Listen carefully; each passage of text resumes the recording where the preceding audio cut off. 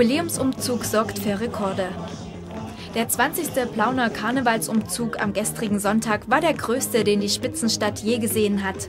Laut dem veranstaltenden Verein Vogtländischer Karnevalisten verfolgten rund 28.000 Menschen das närrische Treiben an der eineinhalb Kilometer langen Strecke. Die Faschingsvereine aus Ostthüringen, Oberfranken und natürlich dem Vogtland verschossen nicht nur jede Menge Konfetti und Kamelle, sondern nahmen auch so manchen Politiker aufs Korn. Was mögen Sie denn am Fasching besonders? die Ausgelassenheit und dass man sich mal freuen kann, ohne dass es Kritik gibt. Also Fasching ist einfach eine wunderschöne Einrichtung vor der Fastenzeit und deswegen soll man das auch ausgiebig leben. Nach dem Umzug ist vor dem Umzug und so ist für die Karnevalsfreunde noch lange nicht Schluss. Ihnen bleiben der Rosenmontag und der Faschingsdienstag zum ausgelassenen Feiern.